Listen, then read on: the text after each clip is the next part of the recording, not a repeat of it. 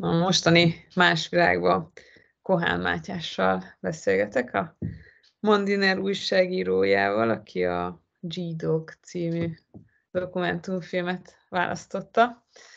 Nagyon örülök, mert végre egy, akár a gyerekem is lehetnél, egy, egy nagyon fiatal emberrel beszélgetek, és néha úgy érzem, mintha már csak a mi generációnk élne, legalábbis a Facebookon, és utána lenne egy másik generáció, akihez se kommunikációban, semmilyen szinten nincs kapcsolatunk, úgyhogy nagyon köszönöm, hogy vállaltad ezt az interjút.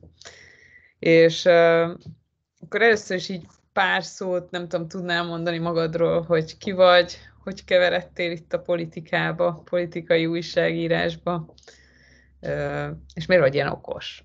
Mert mindenki Rögtön két dolgot, hogy kikérjék magamnak, hogy nyilvánvalóan nem lehetnél az anyám, meg 25 évesen nem lehetnél az anyám semmiképp. Uh, már hogy ne, nehogy... Értem, értem a pókot, de sajnos... A más, másrészt meg másrészt meg nem, nem tudok belemenni ilyen töményezésbe, ez, ez nem tudom, nekem ez valahogy mindig egy, egy antipatikus dolog volt, én nem hiszek abban, hogy a saját dicséretünket nem szabad másra hagyni, szerintem kizárólag másra szabad hagyni. Úgyhogy, úgyhogy ezt, ezt, ezt a részét passzolnám. Annyit, amit, hát ha, ha a sztori úgy érdekel nagyjából, hogy hogyan kerültem a, a Mandinerhez, akkor elmondom, de igazából olyan, hogy magam se hiszem el, tehát ez egy kicsit egy, egy, egy, egy ilyen izgalmas sztori. Hát én a, a Bencés gimnáziumban a Gyuri Bencések érettségiztem 2019-ben, és a Bencés vonalon kerültem ki Kaliforniába 17-18-as tanévben egy fél évre. Azt, azt kell erről tudni, hogy 57-ben, 1957-ben egy évvel a forradalom után menekült, tehát a forradalom elő menekült magyar panohalmi bencések alapítottak a leendő szilíciumvölgynek a, az akkor még csak hűt helyén egy gimnáziumot, azért, mert ott volt a legolcsóbb a föld. Uh, aztán, aztán köréjük épült a szilíciumvölgy, és a suliból meg egy, egy méltetlenül drága, de nagyon jó magániskola lett és hát annak örömére, vagy annak tiszteletére, hogy, hogy magyar bencések alapították az iskolát, minden évben, minden tanévben két bencés diák egy győri egy pannóhalmi kimehet. Teljes ösztöndíjjal azt a 70 ezer dollárt, amiben ez kerül egy évre, azt nem kell kifizetnie. És 17-18-ban ez én voltam. És uh, ugye a környezetemben nyilván nem sokan jártak még Kaliforniában, tehát én nem egy középosztályi családból származom, aminek a látóterében Horvátország benne van, de azért Kalifornia nincsen. És uh, igyekeztem valahogy úgy megoldani a, az információszolgáltatás hazafelé, hogy ne kelljen 150 felé külön írnom. És így csináltam meg a a blogomat. Uh-huh. A, viszont én 12 éves korom óta vagyok igazából politika függő, tehát a, a, a, a ennyi tapasztalatom van kvázi ilyen politikai műsorok nézésében, meg a politika napi értelmezésében, és nem tudtam megállni, ne vegyen a blog egy politikai fordulatot. Volt egy iskolai lövöldözés Floridában, jól emlékszem, a, a, a Marjorie Taylor High School-nak a, a suli lövöldözése, arról írtam egy, egy posztot még annól a blogra, ami amúgy tökre nem erről szólt, és az volt az első így olvasottabb posztom. Aztán ez a politikai fordulat ez így szépen megmaradt, és, és úgy rendszeresen kommentáltam ott politikát, és nem fejeztem be akkor sem, amikor hazajöttem. Úgyhogy uh, 19 áprilisban, ha jól emlékszem, ez a Fidesz néppárti kilépése, a, akkor a Mandiner akkori főszerkesztője, és a mostani főszerkesztője, a Kereki Gergő, az rám írt, hogy nem volna kedvem külsősként írni hozzájuk. Írtam fél évet, vagy pár hónapot külsősként, aztán úgy, azt, azt, aztán uh, úgy alakult az élet, hogy nekem is jó lett, meg nekik is jó lett, hogy, hogy elmentem oda dolgozni először félállásba, aztán főállásba. Szóval nagyjából úgy így kerültem ebbe az egészbe. Ez egy maró izgalmas dolog, mert pont ezért arra a kérdésre, hogy na, akkor hogyan legyek újságíró, hogyha újságíró akarok lenni, én már nem tudok válaszolni, mert ez, ez, ilyen, ilyen sztori nincs, tehát ez, ez nem létezik. De hány éves vagy egyébként? Mert képzeld el, hogy a, a, így rátkerestem az interneten, és a, ilyen kérdéseket tesznek fel, hogy hány éves Kohán Mátyás?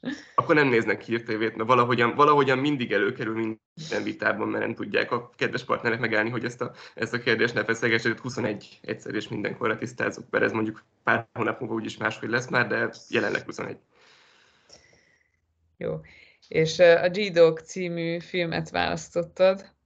Ez egy jezsuita atyáról szól, Gregről, aki bűnözőket fölkarol Amerikában, és és segít nekik, hogy új életet kezdjenek, ráadásul nagyon eredményesen. Te hol találtad ezt a filmet? Nagyon-nagyon tetszett, és nagyon örülök, hogy egy ilyen filmet behoztál. Ez is Kalifornia. Ja, azt, azt tudni kell, hogy ő Los Angelesben működik, annak vannak rosszabbnál rosszabb negyedei, és a, ő az egyiket kiválasztotta magának, ahol igazából nem is annyira azt mondanám, hogy konkrét bűnözőkkel foglalkozik, hanem azzal a közeggel foglalkozik, ahonnan a, a, a banda bűnözés érkezik. Tehát bandatagokkal foglalkozik. Ami nyilván most közjogi értelemben persze ezek bűnözők, de gyakorlatban ugye az annak a negyednek az életformája, és, és voltak éppen azt akarja megváltoztatni. De, de az egyetlen, tehát Kaliforniában elég furcsán állnak hozzá a hittamhoz és a teológiához, inkább ilyen, ilyen társadalmi igazságosság keretben tanítják, ami nekem nem feltétlenül mindig annyira szimpatikus, de az egyetlen ilyen nagyon, nagyon, nagyon értékes hozadéka nekem az volt, hogy, a, hogy pont ebből az emeljük föl a kiszorítottakat keretből kifolyólag meghívta az akkori tanárom. Um, Degöd tanárnő a, a, a Greg Boyle-t hozzánk vitte Hát ugye most Budapesten nem lehet meghívni, de, de San Francisco környékére azért el tud jönni a, a, a, a Boyle atya. És vele meg néhány védencével ott volt egy hittanóránk, aztán levetítették nekünk ezt a filmet, és, és, és onnan, hát nekem ez a sztori, ez az egész onnan jött. És bennem ez úgy csapódott le, hogy én marazsokat foglalkozok azzal a kérdéssel, és az újságírásban is egyre inkább ez érdekel, hogy, hogy mi a felzárkózás módja, tehát hogyan lesz egy kis közösségből, vagy egy nagy közösségből, vagy egy országból egy boldogabb, gazdagabb, sikeresebb, hatékonyabb, jobb hely.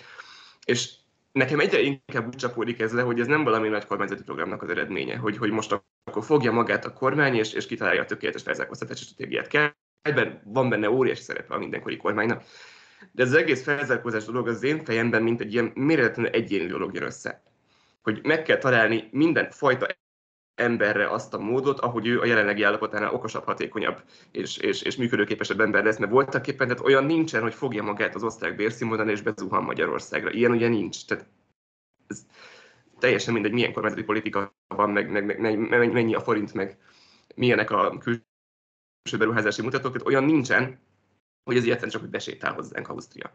Olyan van, hogy, hogy te leszel annyira értékes munkaerő, mint az osztrák munkaerő döntő többsége és ezzel föl tudod húzni a, a, az osztrák szintre azt is, aki pedig nem bérből és fizetésből él, hanem, hanem különböző szociális utatásokból. És nekem, mint felzárkóztatási sztori marha érdekes ez a, ez a, ez a, ez a Greg Boyle történet, mert ő most lehet azt mondani, hogy a, a világ legértéktelenebb munkaerejéből csinál értékes, szívvel teli és, és munkára alkalmas embereket. Tehát egy olyan közegben, ahol az egyetlen látott élet minta az az, hogy, hogy belépsz egy bandába, ahol minden nap, és ez férnek egy alaptézise, hogy alapvetően az ember nem azért lép egy bandába, mert ölni szeretne, hanem mert reményt akar arra, hogy végre meghalhasson. Uh, amelyben, amelyben, amelyben van egy lehetőséged arra, hogy ez a nyomorék élet, amit te élsz, ez kettő-három nap múlva bármikor véget érhet, ez egyszer egy kiváló jövőperspektíva, mert nem kell leérned benne további 40, évet, 40 évet, meg aztán vannak benne különböző foglalkoztatási formák, lehet autót lopni, drogot terjeszteni, lehet prostitúcióval foglalkozni, de sok olyan dolog van, amivel, amiből az ember végül is meg tud élni, amíg aztán egyszer óhatatlanul nem lövik valamelyik lövöldözésben. És tehát, most, hogy mondjam, aki ebben él, az, az értéktelen munkaerő. Nem tud alapvetően a világról, világról vandán kívül semmit, nincsenek különösebb készségei, néhány olyan készsége van, amely a legitim munkaerőpiacon kevésbé használható, és a, és a, a, a Greg atya az ezekből az emberekből csinál értékes embereket, akik, akik tudnak vinni egy kávézót, van egy, egy kávézójuk a Los Angeles téren is egyébként, tudnak vinni, tudnak vinni egy, egy ilyen kis merchandise gyárat, tehát ahol, ahol a, hogy hívják ezt, szitázásnak hívják azt hiszem ezeknek a reklám tárgyatnak a, a, a lenyomtatását. Tudnak vinni élelmiszerboltot, tehát képesek arra, hogy beintegrálódjanak egy magasabb hozzáértékű munkakör, egy magasabb hozzáadott értékű életmódban, mint egyébként a bandázás, és ennek mentén kijönnek a bandázásból is. Tehát ezeknek az embereknek a személyes felzárkóztatása nyomán szűnik meg a, a Los Angeles-t egyébként elsüllyesztő és búzsba kötő banda bűnözést. Tehát nekem, nekem ez, mint ilyen sztori, az érdekes. És hát ugye ennek az egésznek ott van egy keresztény alapja, hogy egyébként marha jó, hogy már megint erre is a kereszténységben vannak meg a jó megoldások. Tehát nekem folyamatosan egy, egy élettapasztalatom, hogy, hogy a, a, a keresztény etika szerinti élet az egyébként teljesen pragmatikusan nézve is mindig a legjobb eredményeket hozza. Tehát nincs, nincsen jobb megoldás a, a, a keresztény elve követésénél, nincs egyszerűen. De egyébként én, nekem ez olyan hihetetlen, hogy, hogy vannak ilyen tök egyszerű jó megoldások, akár ugye Bölte Csaba árvaháza is ilyenek.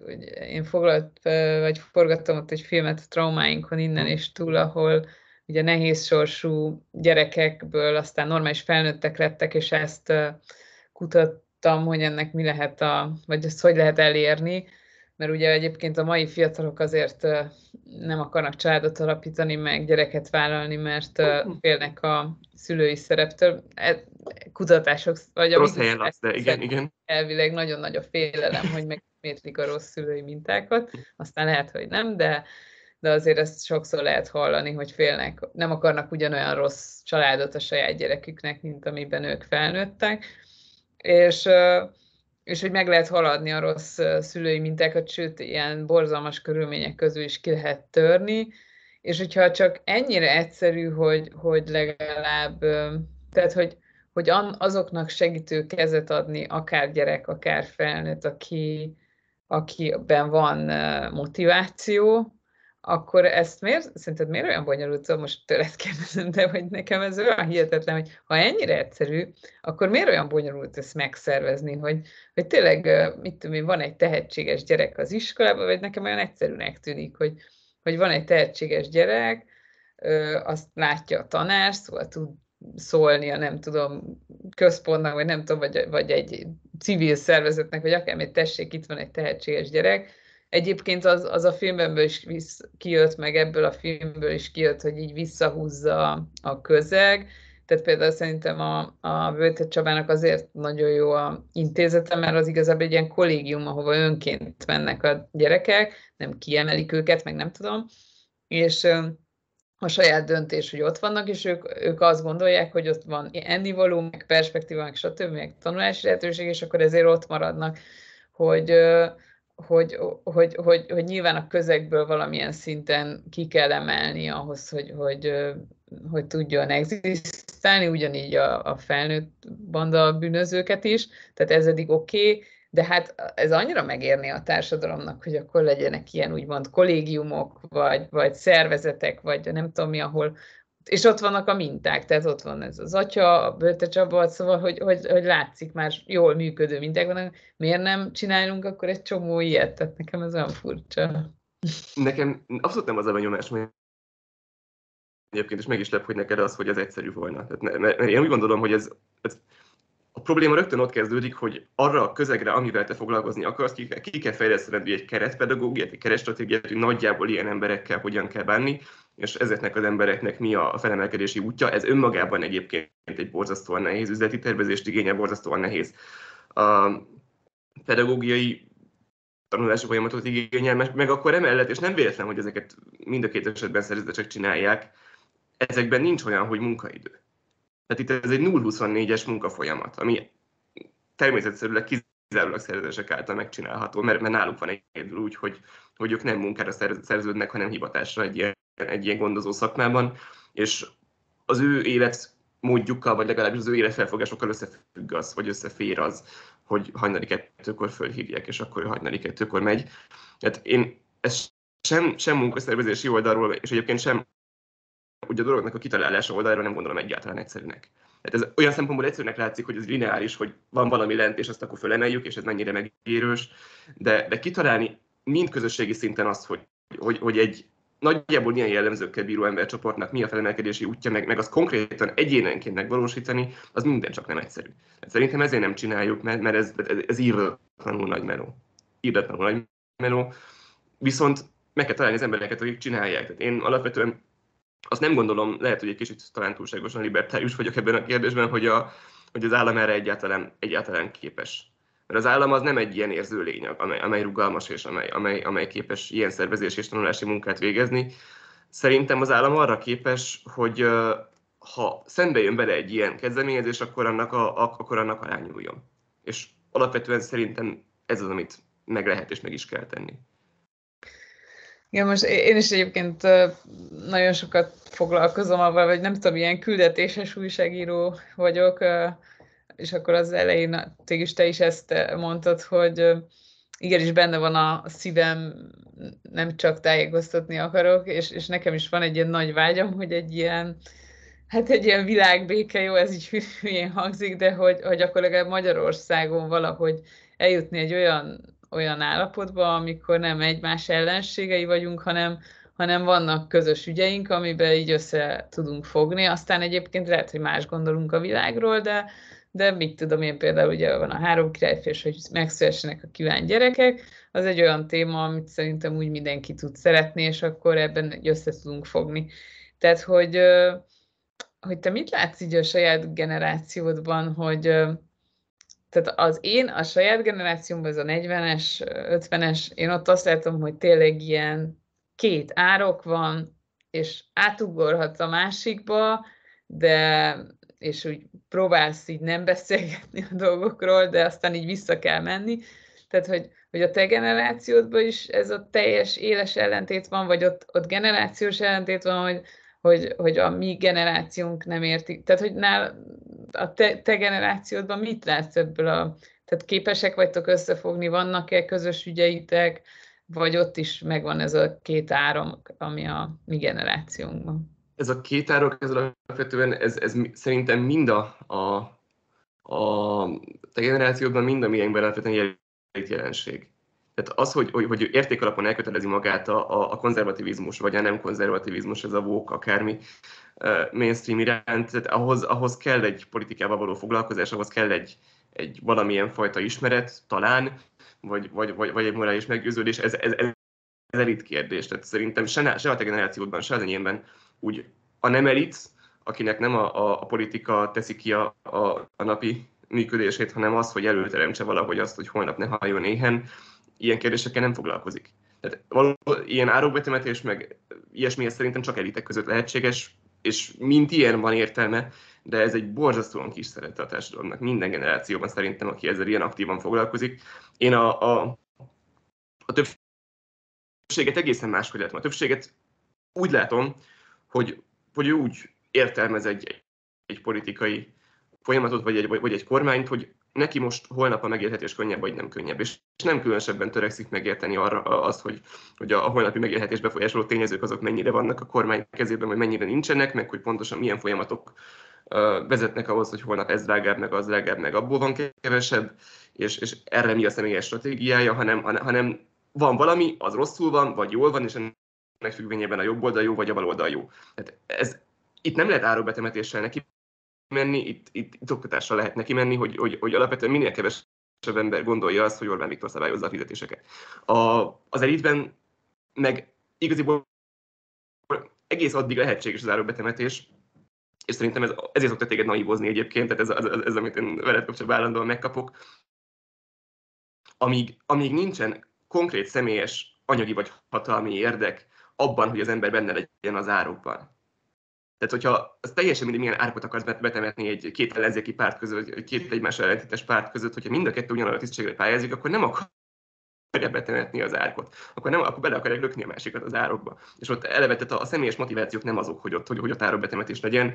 Így civil és a politikában elkötelezett emberek között létezhet szerintem, és kell is léteznie közös ügyeknek, meg árokbetemetésnek, meg azt is gondolom, hogy egyébként mi nemzet szükségünk van olyan ügyekre, mint, mint, mint a te ügyed a, a, a gyerekek megszületése, de egyébként szerintem a külhoni magyarok kérdése is ilyen, a Magyarország Európai Uniós pozíció is ilyen. De egy csomó olyan dolog van, ahol, ahol egyébként lenni kéne politikai minimumnak is, de összességében árokbetemetés szerintem mint ilyen, az, az, az nem lesz. Egész addig, amíg politikai motivációk vannak mind a két ároknál. De neked egyébként a barátaid között vannak olyanok, akik teljesen máshogy gondolkodnak, vagy azért a barátaid zöme az, az hasonlóan gondolkodik, mint te? Ez vicces, ugye mondtam, hogy a Győri Bencesetnél érettségiztem. Hát, uh, ennek megfelelően olyan barátom, aki értékszinten nem konzervatív, az kevés van. Van pár, de, de, de kevés van. Olyan viszont nagyon sok van, aki lát egy-egy intézkedést, és, és azt ugye a Telex értelmezésében fogadja el, hogy az jó vagy rossz-e. Tehát a, igazi, kvázi lipsi barátom, barátom viszonylag kevés van, de az, de az nem is nagyon tudnék találni máshol, mint Budapesten. De ez, ez az állatfajta, hogyha szabad így fogalmaznom, ez, ez, ez Magyarországon egy borzasztóan szűk világban lakik, és meg kell mondjam őszintén egyébként, hogy volt, volt a középiskola alatt Budapestről kapcsolataim, akikkel, akikkel tartottam valamiféle kapcsolatot, valamilyen versenyek, rendezvények, akármi keretében, ezek pillanatok alatt megszűntek azért, amint, amint, amint elkezdtem elég világosan jobb oldalon újságírni. Hát ott, ott, ott nem nagyon van, hát ezek, ezt nem bírják el, ezt, ezek a kapcsolatok nem bírják el ezt a fajta politikai elköteleződést, viszont ott nálunk GMS megyében egyszerűen nem nagyon létezik ilyen, hogy, hogy, hogy korombeli vipsi. Hát ott ez, ez nincs ebből borzasztóan kevés van, mert hogy mondjam, tehát a, a, a valóságból kiinduló vidéki élettel ez tökéletesen összeegyeztethetetlen. Ez, ez nem, nem kapnak ilyen örökséget a családból, egyszerűen ez nem tud kialakulni ez a fajta gondolkodásforma. Tehát Győrben nincsenek, jó, vannak lipsi, de tehát ez, egy, ez egy elképesztően kicsi kisebbség. Aki azt kérdezte, azt kérdezte tőled Kis Lili, hogy még mindig optimista vagy-e az EU-s pénzeket illetően? Válaszoltam neki annak röviden, hogy igen. ez, ez egy kedves kommentelőm, és, és, és nagyon jókat szoktunk egyébként vitatkozni. Én, én azt gondolom, hogy ugye itt van három tényezője ennek az egész kérdésnek. Van az Európai Bizottság, amely leginkább a problémát nem szeretné már, meg, meg azt szeretné nagyon, hogyha Magyarország egy csomó éles politikai kérdésben nem gátolná a bizottság szándékának a megvalósulását, van az Európai Parlament, ami alapvetően azt szeretné, hogy Orbán Viktor legyen Magyarország miniszterelnök, és egész addig, amikor Orbán Viktor Magyarország miniszterelnök, addig a magyaroknak ettől legyen nagyon rossz. Meg, meg van Magyarország, amely szeretne megtartani magának valamiféle politikai szuverenitást ebben a, a, az Unióban, és van egy jelentős hibája, hogy egy csomó olyan országspecifikus szakpolitikai ajánlást, ami az elmúlt néhány évben megérkezett a bizottság részéről, ez, ez az ahilles sarkunk, ezt nem tartottuk be. De egy csomó olyan dolgot, ami jó lett volna az országnak, más politikai prioritások miatt nem csináltunk meg.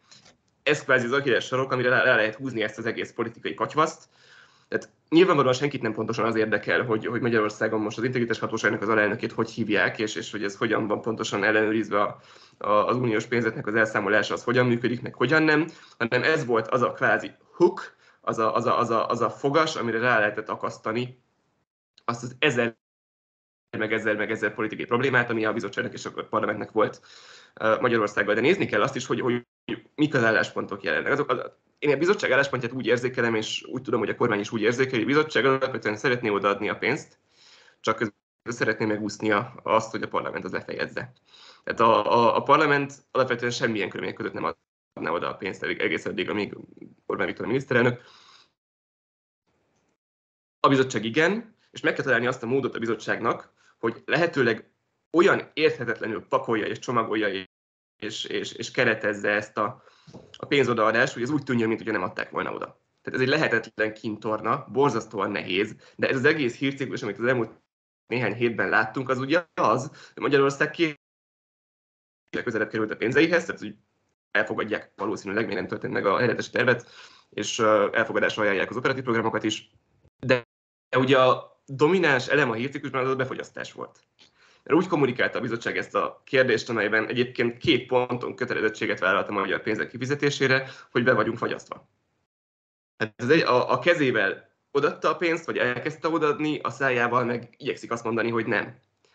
Hogy a, az Európai Parlament, amely egyébként egy alapvetően szavakból élő intézmény, és különösebben nem érdeklik a cselekedetek, a, ettől meg tudjon békélni. És mivel én a bizottság szándékát egyébként pozitívnak látom, tehát azt gondolom, hogy ők oda akarják adni a pénzt, meg mivel egyébként azt is látom, hogy az Európai uh, Unió tagállamai között egy, egyáltalán senki nem akarja azt a kimondottan veszélyes precedens megteremteni, hogy, hogy egy valóban elvesztett politikai okokból uniós forrást, ezért én azt gondolom, hogy a bizottság és a tanács szándék az erősebb lesz a, a parlamenténél. Tehát nincs a parlamentnek olyan hatásköre, hogy uh, egy jól megfogalmazott, jól becsomagolt a tanács és a bizottság egyetértését bíró javaslattal, amelynek mentén Magyarország ezer meg egy feltétel mellett uh, megkapja a pénzeit, ezt, ezt, ezt ne fogadja el, vagy ezt blokkolja. És ez még egy fontos dolog, ugye elkezdett ez a narratíva kialakulni nálunk, és szerintem ez nagyon-nagyon-nagyon káros, hogy korábban 17 feltétel volt, most 27, mindig, mindig jönni fog újabb 10, és akkor sosem fogjuk megkapni a pénzünket. Ez ugye így nem igaz. Tehát a, van három teljesen különálló állítás, vagy, vagy eljárás.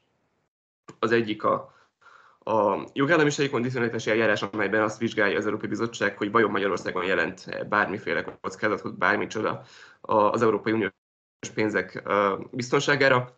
Van a helyreállítási terv, ahol egy jó tervet kell leadni a, a pénzek megnyerésére és annak az ellenőrzését a bizottság folyamatosan végzi, és a bizottság így mérföldkövek mentén adja oda a pénzt mindenkinek, nem csak nekünk. Meg vannak ez a klasszikus uniós pénzek, ez a 7 éves költségvetés. És volt a jogállamisági eljárás keretében 17 feltétlenül, maradt 17 azzal a világon semmi probléma nincsen. Tehát az, az pont ugyanannyi maradt, csak elkezdtünk érdemben tárgyalni, hogy konkrétan mi lesz a helyretési tervnek az ideadási módja, és meg lettek határozva annak a mérföldkövei. Ez meg a 27. Tehát minden a 17 a vállalás közül, plusz néhány olyan jellegű vállalás, ami a jó államisági eljárásra nem kapcsolódik. Ez nem 27 feltétel a 17 helyett, hanem két külön programban, két külön csomag. És te ilyen világlátott emberként mit gondolsz ezekről a vádakról, ami, aminek azért van valóság alapja, mondjuk például, hogy a közmédia olyan elfogult, mondják, hogy máshol is elfogult, vagy az, hogy, hogy nem sztrájkolhatnak a tanárok, van olyan ország, ahol nem sztrájkolhatnak a tanárok, tehát hogy, hogy ezek, amik itt, akkor mondjuk a szociális érzékenység, ugye nagyon alacsonyak tényleg a, a szociális dolgozóknak a bérei, most, most ugye van ez a kavarás, hogy, hogy hova rakják a magatehetetlen embereket, hogy esetleg a gyerekeknek is kell fizetni a szülőkért, tehát hogy, hogy ezek a, ezek a tényleg a Fidesznek létező hibái, azok így nemzetközi szinten szerinted mennyire botrányosak, vagy, vagy mennyire, vagy ennyire egyedülállók, vagy mennyire egy ilyen általános dolog ez a, ezek a hibák? Én nem érzem a magyar kormányt egy rossz kormánynak, és az által kialakított országot egy lehetetlen rossz országnak, de most, hogy mondjam, ahol konkrét számok vannak, hogy ennyit meg annyit keresnek a szociális dolgozók, meg a tanárok, ott igazából ezen nehéz vitatkozni. De itt nem a, a vitatárgya szerintem soha nem is az, hogy, hogy, hogy kell-e ezeknek az embereknek többet keresni. Értelemszerűen nem lehet Magyarországon megélni. Nem, csak hogy ahogy kezelik, én is arra gondoltam. Ezek, hogy... Csak ugye, tehát, ugye egybecsúszott ez a szociális válság, amikor világosá vált, hogy ezekből a bérekből tartalatlan a, a, a megélhetés, egybecsúszott egy olyan helyzettel, amikor viszont az, az állam nem néhány százmilliárdot költ arra, hogy legyen rezsicsökkentés, hanem 4000 milliárd forintot. Tehát, ha egyik napról a másikra úgy, úgy eltűnik az államkasszából 3000 milliárd forint, mert annak föl kell címkézve lennie, hogy ebből mentjük meg a magyar lakosság és a magyar gyárak energiaköltéseit, akkor ebben a helyzetben nem lesz azonnali mozgástér béremelése. Tudom, hogy ez borzasztóan rosszul jött össze, de, de én ebben a kérdésben akkor is, hogyha pontosan tudom, hogy mennyire égető a probléma, én értem, hogy a kormány miért csinálja a dolgát, ahogyan csinálja. Tehát a nincsből nem lehet adni. Ez, ez, ez szerintem egy, egy, egy, egy elég világos um, jó, de lehet jobban Mond, tehát, hát, lehet azt mondani, teljes megértése, hogy, hogy, hogy tárgyalsz, hogy nagyon komolyan veszed, hogy nemzeti szolidaritást hirdetsz, hogy akkor azt mondod, hogy jó, akkor most adjunk össze valamit addig, amíg nincs más megoldás, nem tudom, tehát akkor nem tudom, ingyen mehessenek az állatkedves. Tényleg csak mondok valamit, csak hogy, hogy mhm. elinduljon egy olyan folyamat, hogy aki amit tud, ehhez járuljon hozzá, és akkor majd meg, meg, meg majd megoldjuk, amikor eljutunk oda. Meg De nem az, hogy azt, azt mondják, hogy hát igazából nincs olyan nagy baj, úgyis kevesebb a gyerek, nem tudom mi, szóval, hogy... De így... nem mondanak ilyet bocsánat, ez, ez egy, hogy mondjam, létezik valahol a Fideszes oldalon biztos ilyen vélemény vezér, aki ezt gondolja, de én a, az államtól alapvetően inkább, inkább csendet tapasztalok, mint, mint, mint konkrét ilyen undorító mondatokat, hogy, hogy, hogy úgyis van bőven elég születettek. Most paragrázot ne tekintsük a Fidesz részének. Hát ő szokott ilyen hülyeséget mondani, bocsánat, hogy, hogy a tűzoltóknak ott van az adrenalin, meg a tanároknak a, a, a három hónapos nyári szünet. Hát ezek, ezek nem a kormány álláspontjai és nagyon ügyesen csinálja a baloldali média azt egyébként, hogy, hogy, hogy mint olyat festi le őket, de, de nem ez a kormány álláspontja. És én azt gondolom, hogy megélhetési kérdéseket borzasztóan nehéz kommunikációsan megoldani. Mert ha, ha például megnézed a jelenlegi tanárbéremelés folyamatot, ez ugye szerintem egyébként egy kimondottan jó célt tűz ki, mert a diplomás átlagbér 80%-át keressék a tanárok. Ez szerintem olyan szempontból méltányos, hogy a versenyszféra mindig is jobban fog fizetni, de nem lehet teljesen megadni az átlagbért. Azt lehet, hogy hozzákötjük egy folyamatosan növekvő színvonalhoz, ami pedig az átlagban 80%-a. Tehát van, van egy jó cél, ennek az érdekében van a jövő évre egy, egy 21%-os béremelés előirányozva, ez be volt jelentve, és akkor mit lép erre a szakszervezet? Azt, hogy de hát a francia meg ez nem elég legyen 40 Tehát amikor a kormány elkezd valamit, ami épp az aktuális pillanatban tényleg nem elégséges csinálni, azt nem olyan pozitívan hozzá fogja fogadni a közeg, hogy jaj, de jó, elkezdtek valamit csinálni, meg legalább foglalkoznak a kérdéssel, ha már nem tudják megoldani, hanem hogy rohadjanak meg, hogy nem oldották meg.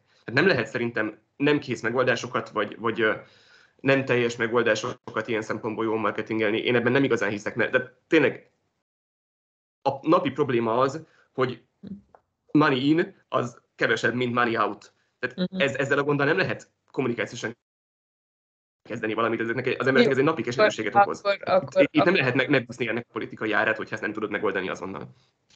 Akkor ez az utolsó kérdésem mellett, tehát a fél óránk, tehát akkor össz, össze, összehasonlításban azért elég sok kormányt ismersz valamennyire. A magyar kormány azt szerinted milyen szinten van a többi, mondjuk európai, meg amerikai kormányhoz képest? Én azt gondolom, hogy nem véletlen az, hogy ugyan ismerek nap, napi szinten számos országot, de egy, igazából az oktatáson kívül, amit nem szeretek Magyarországon, semmi másban nem látom fontosnak, hogy kibalanszírozzam Magyarország hibáit. Én csak az oktatás miatt járok át Ausztriában, minden, az életem minden más területe itthon zajlik. Én azt gondolom, hogy Magyarország egy kimagaslóan élhető ország, és a kormány hibái nem nagyobbak, mint máshol, hanem máshol vannak, mint ahol lenni szoktak. Tehát a legtöbb más európai kormány az, az, az otromban nagy külpolitikai hibákat szokott elkövetni, és, és stratégiai döntésekben hoz kifejezetten hülye és idióta döntéseket, amelyekből az viszonylag gyorsan ki is derül, hogy ezek hülyeségek. Utána meg reakciók jönnek. A magyar kormányban nem ez a helyzet. A magyar kormány a stratégiai irányokat szerintem szinte minden kérdésben kifejezetten jól látja, és a magyar kormánynak pedig az a szakpolitikai bázis nincsen meg, ami rengeteg mondjuk a német vagy a, vagy a, vagy a, a vagy számos egyéb nyugat-európai kormánynak megvan, vagy mondjuk a skandináv kormányoknak, hogy bizonyos konkrét uh, nagyállami ellátórendszereket hogyan csinálunk meg jól és hatékonyan. Tehát egészen más jellegű hibái vannak a magyar kormánynak, mint, mint, mint, mint más kormányoknak, és én összességében azt gondolom jobbnak, ami nálunk van, nem olyan szempontból, hogy ki, ki hol keres többet, olyan szempontból, hogy az ország jövője szempontjából stratégiai döntéseket jól látni, és szakpolitikai kérdésekben nem lenni elég okosnak, mint fordítva. Köszönöm szépen. Nagyon köszönjük az interjút.